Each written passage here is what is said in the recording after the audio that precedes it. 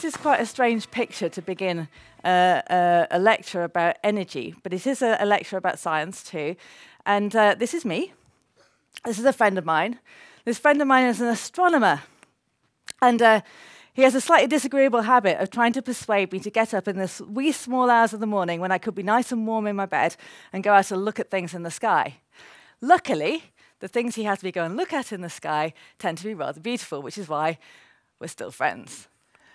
Does anyone know what we're looking at? Hey, okay, yeah? It's a star. Is it a star? Does anyone else know? What do you think? It's a planet. It is actually a planet.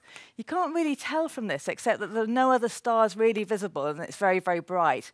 If you were seeing it in the night sky, it wouldn't twinkle, and that's how you'd know it's a planet.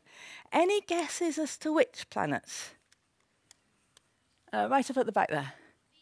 It is Venus. That is the planet Venus. And that's why I wanted to show you this here, because the planet Venus is quite an interesting one when it comes to the topic of our talk, energy. So this is obviously not the planet Venus. This is a planet. This is a planet Earth. This is our home planet. This is the planet Venus. Can you see any differences between the two of them? Yeah? Yes, okay, here? One is slightly smaller than the other, but they're very similar size, actually. Uh, yeah, what about, what can you see? The Earth has water and Venus doesn't have water. That's exactly right. What else up there?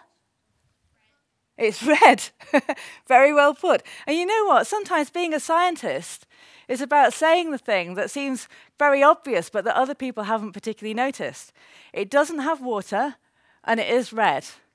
And the reason it doesn't have water and the reason it is so red is that it's very, very hot. So the surface of the Earth on average is about 15 degrees Celsius. The surface of Venus on average is 450 degrees Celsius. It's hot enough to melt lead if you put it on the surface of Venus.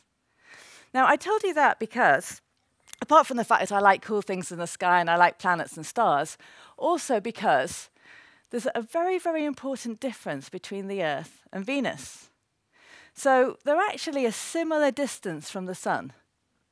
Venus is a little bit closer, the Earth's a bit further away, but they're not too distant, different in their distance from the Sun. Also, they're a very similar size.